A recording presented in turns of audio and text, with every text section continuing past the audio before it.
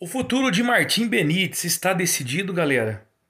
Sim ou não? Já conto para vocês já já sobre o futuro de Martim Benítez. Essa é uma notícia urgente, uma notícia que acabou de sair do tricolor e eu trago ela fresquinha para vocês aqui em primeira mão.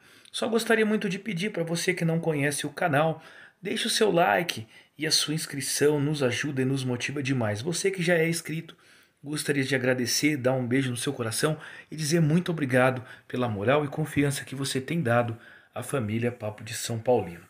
O diretor de futebol do São Paulo, Carlos Belmonte, ele deu uma entrevista agora na Rádio 97 e ele acabou de falar sobre o futuro do Benítez, uma pergunta que todos os torcedores do São Paulo não sabem ao certo, alguns apoiam a permanência de Benítez, outros não, mas é um assunto meio polêmico. Ele disse que o São Paulo já iniciou as conversas com Martim Benítez para o um empréstimo de mais um ano junto ao seu time argentino, o Independiente. Se o Independiente acertar o empréstimo de Martim Benítez por mais um ano, Martim Benítez continuará no São Paulo por empréstimo em mais um ano. Se ele não aceitar, provavelmente Benítez deixará o São Paulo. São Paulo não quer fazer essa aquisição de todo esse valor. São Paulo quer ficar com Benítez para mais um ano, porém por empréstimo. Essa é a posição posição do São Paulo. E aí, galera, você acha que o São Paulo faz certo em querer Benítez em, em, empréstimo somente,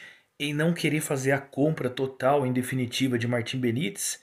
Ou não? Deixa aí a tua opinião, ela é de fundamental importância. Eu até acredito agora que é por isso que Benítez não vem jogando, para desvalorizar o atleta e o Independente acertar essa proposta do São Paulo. Tá aí a resposta porque Martim Benítez não vem jogando. Deixe a sua opinião. Grande abraço, fique com Deus. Antônio Gomes aqui para o canal Papo de São Paulino. Não sai sem deixar sua inscrição, galera.